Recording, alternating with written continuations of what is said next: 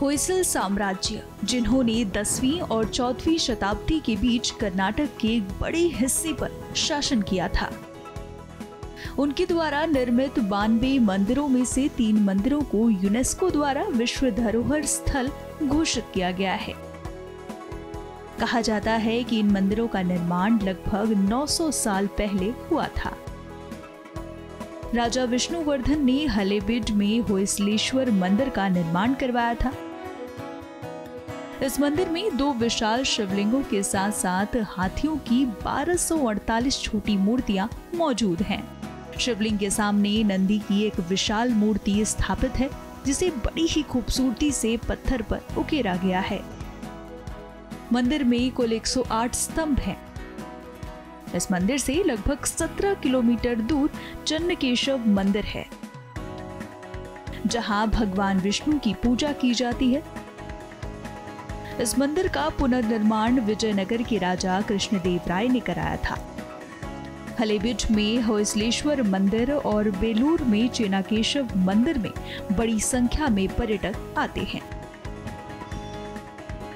इस शानदार विरासत को देखने आए लोगों का क्या कहना है, सुनिए।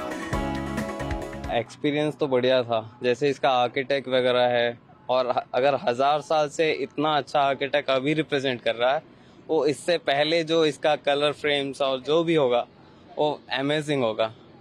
और अभी अगर इसको यूनेस्को डिक्लेयर किया है कुछ भी तो ये ऑटोमेटिकली डेवलप हो जाएगा। और आर्किटेक्ट इस साइड में जो टूटा फूटा पीसेस पड़ा है किसी किसी टेम्पल्स का रिमेन्स पड़ा है एटलीस्ट इसका तो वो हाल नहीं होगा। और प्रिजर्व करने लायक बहुत पीसेस है, जैसे अभी भी छोटा छोटा जो आर्किटेक्ट को टूट रखा है, उसको रिकवर कर सकते हैं। और मेंटेन कर सकता सो अभी का मंदिर और ये पुराना मंदिर में कंपेयर कर ही नहीं सकते हो क्योंकि ये आर्किटेक्ट अभी कोई बना नहीं सकता है। अगर बना भी लेगा तो वो इतना दिन टिकेगा नहीं। आप रोड्स बनाते हैं चार दिन नहीं टिकता है। ये इतना बड़ा मंदिर और पत्थर का पूरा है वॉकिंग है। हज़ार साल पुराना इतना दिन रह रहा है तो ये बन नहीं सकता है अभी। तो इसको प्रिजर्व ही कर सकते बहुत ही सुंदर और अंदर जाके इतनी शांति का अनुभव हुआ और इतना साफ़ सुथरा और पीसफुल मंदिर है कि लग रहा था थोड़ी देर वहाँ बैठ के और मूर्ति और उसकी जो काविंग और वो सब है, उसको देखते ही रहें।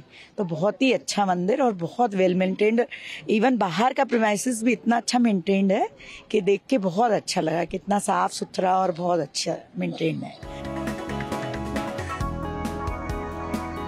आपको बताते चले कि होयसल मंदिर 2014 से यूनेस्को की संभावित सूची में थे। जनवरी 2022 में इस मंदिर समूह को वर्ष 2022-23 के लिए भारत की ओर से विश्व धरोहर स्थल में शामिल करने के वास्ते नामित किया गया था।